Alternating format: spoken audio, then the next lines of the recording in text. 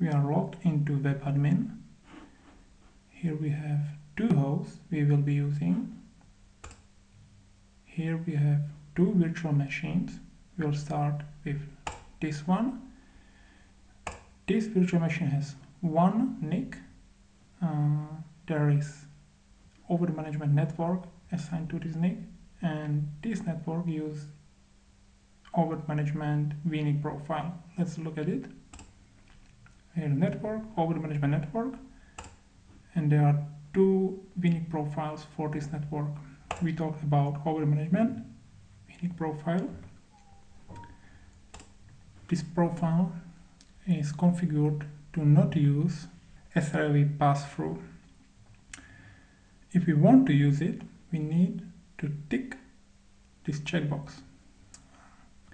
It's only possible to tick it if there isn't any NIC in any virtual machine which uses this uh, profile. So if we want to enable it, we need to remove the NIC from the virtual machine we saw before and then tick this checkbox and add the, uh, the NIC back.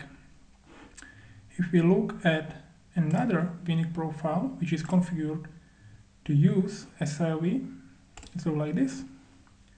The pass-through is enabled and here we have new field which we can tick or untick.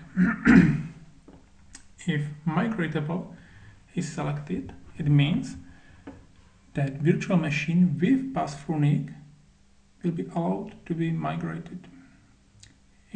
This is not ticked, the migration of such virtual machines will not be possible. We'll see that later.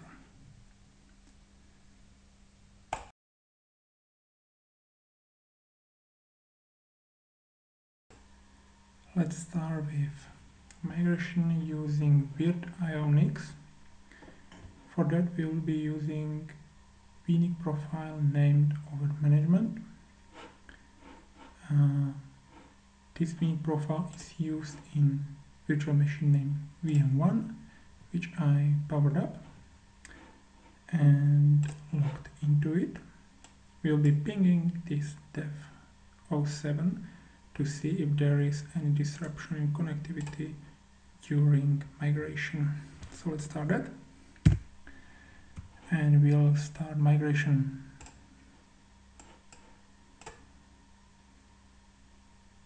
We see that migration started.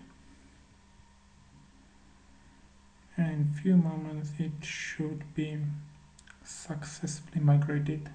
So migration completed. We didn't see any disruption we see that the connection is still live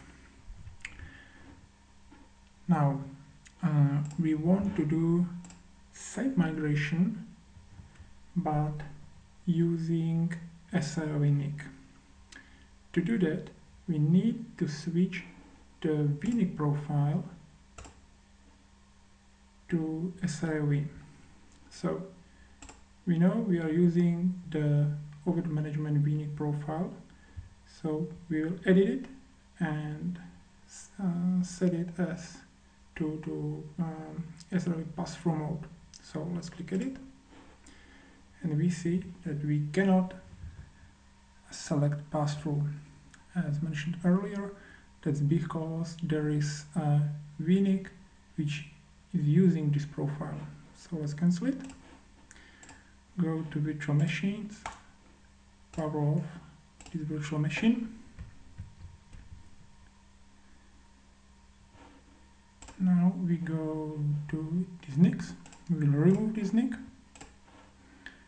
Back to VNIC profiles and here we can now tick the pass-through.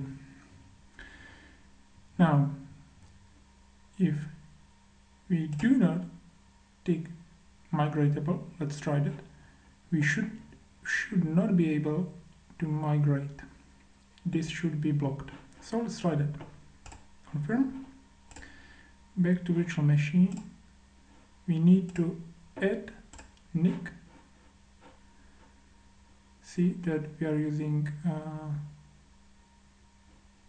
different no, no it is not a virtual but there is a PCI pass-through because we change setting of this profile.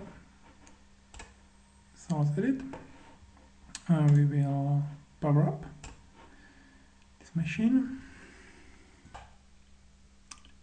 And now when the virtual machine is up we can try to do another migration and this migration should fail or be rejected because we are using the pass-through NIC but we didn't flag it as migratable. So let's try that.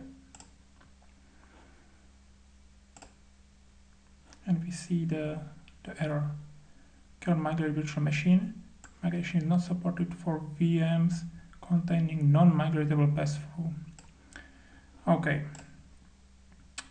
So to fix this and overcome this we need to go back to VNIC profiles and mark this as migratable.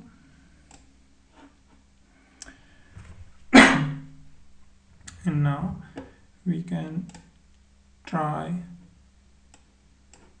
the the same migration we did with with VirtIO NIC so let's log into this machine.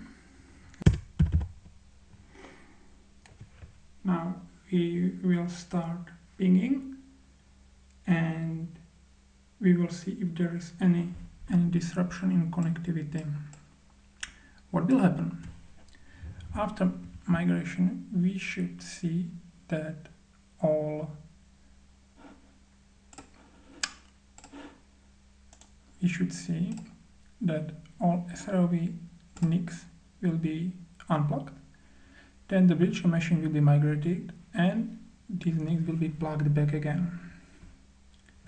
And because of that, we should see some disruption in connectivity because only one SRIOV NIC is used. So let's try that.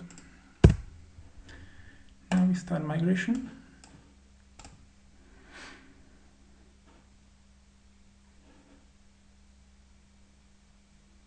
We see here that the NIC was unplugged.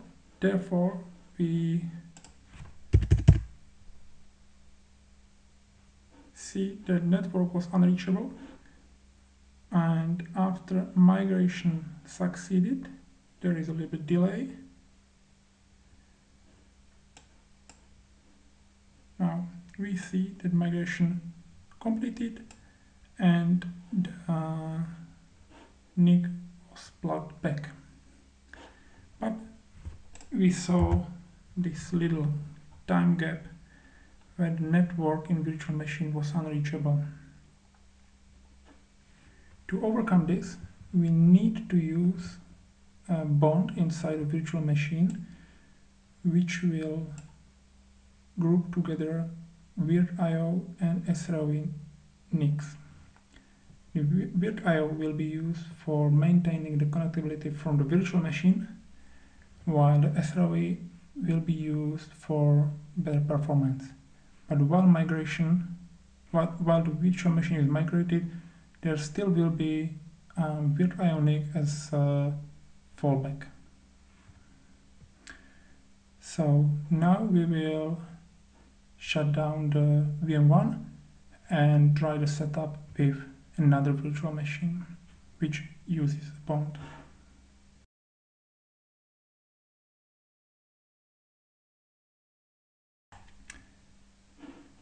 Now we have virtual machine 2 up and running. Uh, this machine uses two NICs, NIC 1 which is with Ionic and NIC 2 which is SRIOV NIC. I log to this machine so we can investigate. Uh, we have created bond 1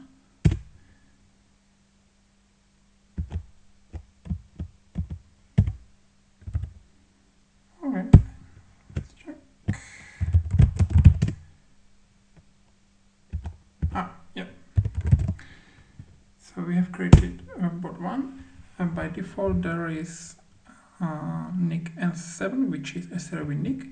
This is active by default for performance reasons. Uh, there are two slaves.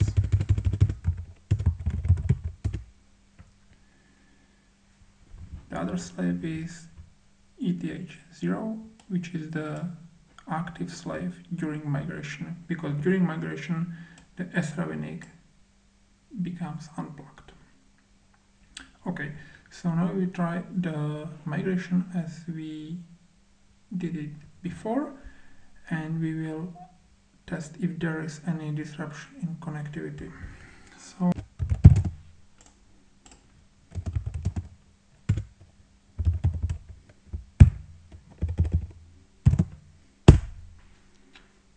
So we are pinging and we will try another thing which is there's a little script which will demonstrate which is the active slave how it changes. So uh, point one if we start we see that the active slave is N7 uh, so now we will try the migration.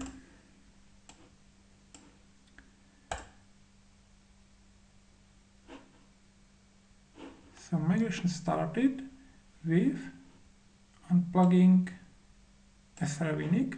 We see that the SRIOV NIC became unplugged and the ETH0 become active. Now we see that the N7, which is SRIOV NIC, was plugged back, which means that migration completed.